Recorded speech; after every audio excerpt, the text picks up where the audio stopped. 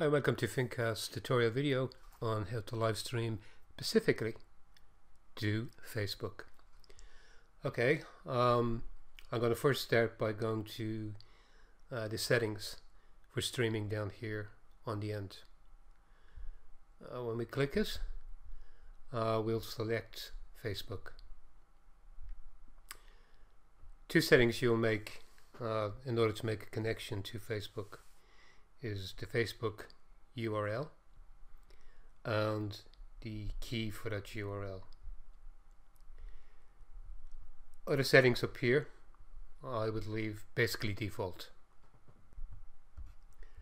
If you find that you're getting a bit of lag when you're broadcasting live and feedcast, just drop the video a bit uh, right back to a smaller size and maybe drop the frames from 30 back to 25. You know, this can be got to do with your internet having a bad day uh, from your internet provider. It happens. Okay, so uh, we change from record to stream and it illuminates blue here. So, before we do anything, we need to go to Facebook. Go to the web browser. I am already logged into Facebook. And here what I want you to type in. This is the best route I think. You can select live streaming from your Facebook page, but it seems to jump at the moment straight away into trying to connect you and your camera. Just simply type in uh, Facebook live stream create. Okay. This is the web address you're looking for. And you can read it back in the video recording. Okay. So this is where I go because I'm already logged in. Um, I'm in a position to create a live stream.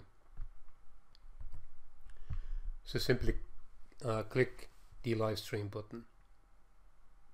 So we're going to completely ignore uh, camera and connect. It's not relevant because we're using Fincast. There's a couple of settings down here. Uh, by default, uh, this one is illuminated. Use a secure connection. Pretty much select this one uh, because of the 1st of May 2019. Uh, the previous RTMPT uh, will be discontinued. Basically, Facebook um, are insisting on a secure connection as of from that date. This one here use a persistent stream key. Check this one, very important. If you do not check it, uh, this key is going to keep changing every single time uh, that you do a live stream. So you do one today, you stop, you go to do another one tomorrow, the key will have changed. If you have this checked, it'll be the same key all the time until such time as you reset it, which I'm obviously going to do after making this video. Um, okay, onto the right hand side. There are settings here, I'm not going to go into, you'll see them yourself, more related to uh, Facebook and connecting directly from them without using Fincast or any additional software. Here's you choose from where you want to post your live broadcast on your timeline, on a page, an event, etc. And this one, uh, I select only me when I want to test. So if you want to test before you go live and make sure everything's working and you're ready to live broadcast what you want to broadcast, if you can test it uh, viewing it from your mobile phone, tablet or PC by just selecting only me. However, there is a preview I'm going to show you now. Okay. So you can type in a title here that appears uh, for your live stream on your timeline, for example. And you can put in some tags there if you choose. Um, obviously, you need to change this to public or friends or whoever you want to see it before you go live. Speaking of going live, there is a go live button down here which is disabled grayed out you can't press it and there's a reason for that okay So we go back to Fincast Studio. And I'm just going to put the box in this for the live stream. Um, you simply click stream. And now if we go back to the Facebook page, we should see it coming in. There's our boxes. Facebook page is giving us back uh, some information, the size which is correct, uh, video bit rate at present, that will fluctuate, and frames per second, which will fluctuate, but it's supposed to be 30. The audio kilobits, uh, kilobits per second, and your audio format, which is AAC. I think it's a little better than MP3 for live streaming, to be honest. Okay. And now if we look over to the right hand side, we can see the go live button is enabled. It's very blue. And if we press it, it means we will go live to Facebook.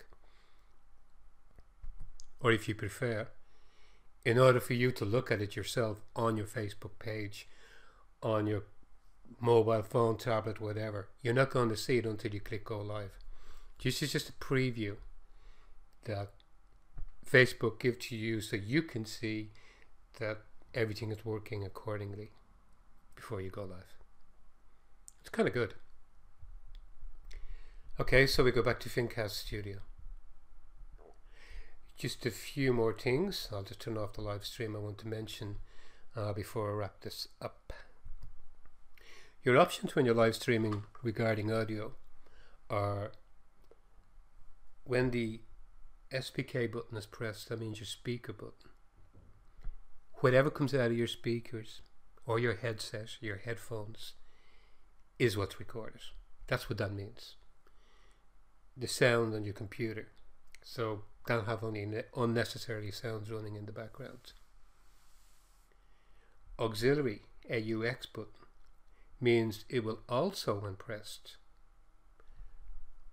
record whatever's here. Here it shows my Blue Snowball microphone.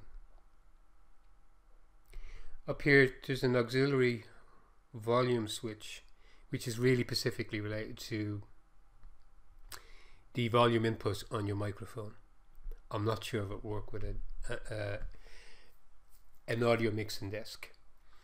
Auxiliary can also be other audio devices connected to the input if it has one on your audio card. Most people will connect maybe an audio mixing desk into the input on the video um, on the audio card, I beg your pardon. And basically that allows them to connect a bunch of microphones uh, to the audio mixing and output it on one output to the input on the sound card and then that would be recorded with the AUX. That's for a real big studio setup. Okay, so again, just a quick cap on this. Speaker records only your sound or headset. AUX will record if uh, turned on uh, both the auxiliary input and speaker. With speaker turned off and AUX on will record audio wise or stream only your auxiliary device. And with nothing turned on it will just be your pictures. There will be no audio whatsoever. Okay so that's basically how you live stream to uh, Facebook. It's a little bit more extra than YouTube Twitch and others where you simply just add the URL and the key and just simply click stream uh, Facebook just has a little bit more to it there are programs that do allow you to do the settings without going to the page, but it pretty much is reinventing the wheel. It's as easy to go to Facebook page and look at your preview and click go live. I think. So again, thank you for watching our tutorial video on how to stream specifically to Facebook. Website again is fincast.com. Thank you for watching. Bye now.